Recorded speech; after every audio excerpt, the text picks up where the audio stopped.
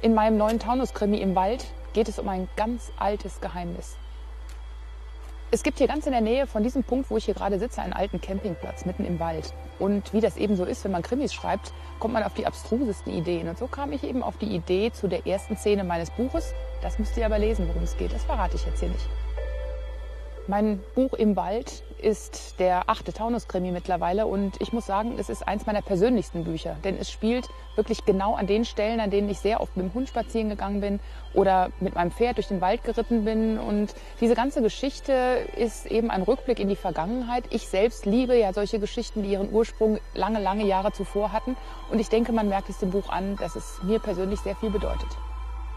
Bei Im Wald war es so, dass ich eine ganz vage Idee hatte und die Inspiration war tatsächlich eine Geschichte, die sich vor vielen Jahren in Kelkheim ereignet hatte, die mich auch tatsächlich schon mal zu Schneewittchen muss sterben inspiriert hat. Damals ist äh, vor ungefähr 15 Jahren ein Mädchen spurlos verschwunden und bis heute nicht mehr aufgetaucht. Das fasziniert mich immer sehr, gerade diese Geschichten, was heute ist und was früher passiert ist.